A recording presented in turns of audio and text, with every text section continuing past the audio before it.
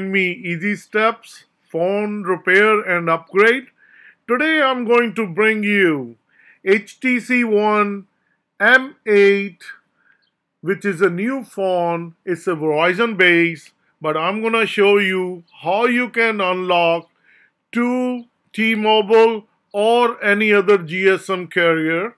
At this moment I'm going to make my phone HTC One M8 to unlock from Verizon to make a T-Mobile in order to use at Metro PCS services. So it's really good for people who wanted this phone, is a beautiful phone, want to use it on Metro PCS, and I'm going to show them in easy steps how you can do it yourself. If you can follow me on um, my mouse and you need to Google this by saying HTC One M8 XDA Verizon. Before I go to anything else, I want to share one thing with you that this most of the software works on PC and but when it comes to easy steps I always have things for you to bring you in easy steps. It's for PC but I'm gonna bring this one into um, Macintosh on a MacBook for the Mac lovers for the Apple lovers. They can do this HTC One M8 to unlock from Verizon to any other carriers on my Mac Air. So I'm gonna show show it to you. Please follow me as I show to you. You Google it HTC One M8 XDA Verizon. Once you do that, it comes this. Then you open that. Once you open it, you scroll down. You sc scroll down. You go on Verizon One M8 journey. Another form opened, uh, then you scroll down. You scroll down, you have to go to convert HTC One M8 Verizon to fully compatible T-Mobile version. But before we do that, we need to do uh, our phone to make it uh, the root in order to do that which is called how to do s off i'm going to show you i'm going to do it that part then i'm going to bring the rest of the things to you in easy steps and you can follow it. Here we are uh, to our htc one m8 i'm going to share with you how we're going to make this phone enable to us debugging mode and uh, also as for the developer option so I'm going to enable that. So we're gonna start that. And if we open this okay. What we need to do uh, that you need to go on setting. I'm gonna click on setting. You have to scroll all the way up go on under about and then you need to click on software information. Can you see it? And then you can click on more when you click on more, then it's to come three things to come. You need to click on a build number. We're to click on build like a, you know, uh, four, five, six time. It says two steps away, you know, you're debugger. Now it says you're now in a developer mode. Go back. One, two, three. And if you notice that now we have a developer option open up. So I'm going to click on that. And I'm going to say that you know, developer option, don't ask me again. And I'm going to say OK. And now it says uh, opened up a US debugging mode. And I'm going to click that. And it's going to say allow USB debugging. Yes. Okay. So once I'm going to say OK, now we need to get the USB connected to my Mac if you see it. And I'm going to put this in since a USB wire is plugged in and uh, my computer already recognized it and now remaining steps I'm going to complete it I'm going to share with you. To open up the link HTC uh, Sync Manager. And in order to do that we're gonna open that. Once it's open it's gonna be uh, about uh, some 200 meg or some file big file is gonna open and it's gonna be DMG files gonna open and it's gonna show it right at the bottom. So once it's gonna show and you're going to install that. So now we're gonna go on a Google and uh, we're going to install the weak sauce uh, APK file in order to root our phone. So I'm gonna go onto Google.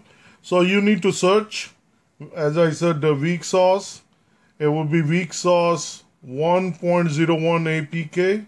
Once you do that, you're gonna come up this one, you're gonna open that. Can you see it? So you open that. It's a depend on your speed, uh, how internet speed uh, uh is, and then you can scroll these up, and as you see, the file is right here I can scroll big. Can you see it now? Okay. This is the file you need. So I'm going to click that and that's going to be starting download. And once it's a download, okay, it's uh, downloaded. So I'm going to open that. Once you open, I'm going to press weak sauce and it's going to say install block. I'm going to say setting Okay, so once you're going to scroll and it's to say unknown sources, that's a file. We're to say okay. We're to check that. We're to say okay. Now we're to go back. And now we're going to press that file. And now it's going to tell us that uh, it's a run. So we're going to say install it. And now it's a weak sauce is installing. And uh, I'm just uh, accepting my Google thing. And application is installed. I'm going to say open once it's open, that disclaimer, I'm going to say agree. Okay, the root is activated. Uh, can you see it? Okay. So once the weak sauce is done, we need to install a super user in order to take authority to root this phone. So I'm gonna go on a Play Store and uh, I'm gonna search uh, uh super user and once you do super user it's gonna come super user. The first one it's a free application. You're going to come that you're going to install can you see? So once you say install accept it's gonna be installing it. It's gonna be pretty fast uh, depending you know again internet connection. And we're gonna open it. Once you open it this is you're gonna say okay once uh, uh, it's a super user is already done and uh, basically and now we're going to restart our phone and uh, I'm gonna shut down. I'm going to basically not shut down restart. So we're gonna restart and we're gonna wait. And we're going to install number one ADP which is a part of Android SDK so there is a file let's say you download here. We're gonna click that. Once you click it it's gonna come down here. We're gonna go down. We're gonna say download for other platforms since we're using macbook and we have to use the total bundle AT bundle. So we're gonna use mac os 64 bit. And if you're 32 bit you use that but uh, i have 64 so i'm gonna use that. You have to accept the terms. Once you do that you're gonna download the bundle. Then it's gonna start downloading and it's a big file 479 meg it's going to take uh, some time uh, so i will come back to you. Bundle uh, adb is already downloaded the big file like uh, almost 500 meg and uh, now we extracted it. I will show you. And once it's extracted adp bundle mac and you're going to go to the folder sdk you open that folder you're going to go to platform tools. You're going to open that and once you're going to go open that, you're going to go to ADB and uh, you're going to right click on it and you're going to say get info. Then once you get the info, uh, you need to see where and uh, that's the location is of that bundle. You're going to copy that. You're going to highlight, then right click. You're going to say copy. Now you're going to open up uh, on your search bar terminal window. Once you open the terminal window, you need uh, to put a CD um, space and you're gonna right click and you're gonna say paste. Once it's pasted and you're gonna say hit enter. Once it's hit enter you need uh, you already get into that uh, platform tools uh, where we want it to go. So we already in that directory. Now we're gonna go into other directory. So you're gonna say period backslash. You're gonna say a d b space devices. Once you're gonna do that you're gonna hit enter and uh, now you see there is no devices attached. Now I'm going to plug my USB to my MacBook. Once I plug that then I'm going to see and I'm uh, is the manager going to open? You just need to close that. Now I'm going to hit enter and if you uh, hit enter then you're to see HT device is attached. Before there was nothing. It was just showing there was none. And now it shows it's there. Now we're to go back to our uh, S of instructions. We're to go to number 12 and we're to download the Firewater from here. You're to click on that. You're to say open and you're to go next tab. You're going to scroll down. It's a small file. You're going to say download Firewater. You click it here. You click it. Once it's download it's uh, only 4 meg file. It's a small file. It's already done. So I already had uh, extracted it. And uh, now we're gonna go and find that folder file. It's under our download. So that's a firewater file. We're gonna get a copy. Firewater we're gonna go back to our bundle uh, folder and um, SDK and then we're going to go back to platform tools and we're going to copy right here. So you're going to paste that. Once it's pasted, then we're going to go to the terminal window. Once you go to terminal window, now we're going to work on number four, push, prepare, and execute Firewater. So we're going to use these command and we're going to copy over ADB reboot. You're to right click, copy, go back to terminal and we're gonna say dot backslash and we're gonna paste it. Once you do that it's gonna come to your phone it's a rebooting. And the phone while it's rebooting we're gonna get the other commands going. We're gonna make a copy and we're gonna go onto terminal and we're going to enter that. And we're gonna say click OK and once we're gonna do that um, while uh, that uh, window popped up, the reason because it was a restarting mode, and uh, so that one, uh, don't worry about that.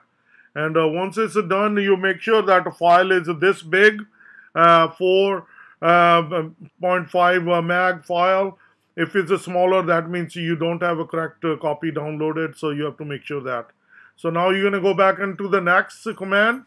You're going to copy that. You're going to go back to terminal again and same thing period backslash you're gonna paste it you're gonna copy over this then you're gonna see the shell it's already transferred and don't worry about that manager thing opens up you can close that. Then you're gonna go to the next command super user command you're gonna enter that remaining uh, file uh, the commands after super users. We're going to add that and uh, let's do that and um, I'm gonna show you while we're doing that, I'm just going to share with you that if you say super user not found, uh, that could be a, your wire loose. My wire was loose. That caused, a, I think, a problem. You do it the second time. I did it and it started working. So we're going to do that uh, copy. So um, once we copy, we're going to hit enter. And uh, then we're going to get the last command. Once we're going to get to the last command, copy, and we're going to paste that. We're going to hit enter. And that's looks like it's going. It's saying it's done fine. Do you understand the implication of these warning? You say yes. So you make sure you type yes, no why. Okay. So once you say yes, then we are back to our phone. Then I'm going to share with you. You know, another screen. And then it's preparing one mo uh, moment. The first uh, bottle is open, chugging. Okay, so after opening a bottle 6 chugging, the device is now as off. Don't forget. Okay, uh, don't worry about that. Uh, now the phone, go, we're going to go to the, our phone. It's going to say on our phone and I'm going to share with you. done with all those commands, the number six bottles, we're going to open up, uh, the, close that terminal, open another terminal. We're going to use the same command and uh, we're going to enter that. Once you enter that, then you're going to come to the second command. Then you're going to say reboot um, uh, hyphen bootloader. You're going to hit enter. Once you do that, then your phone will start and it will open up with S off. And now I'm going to share it with you on my phone.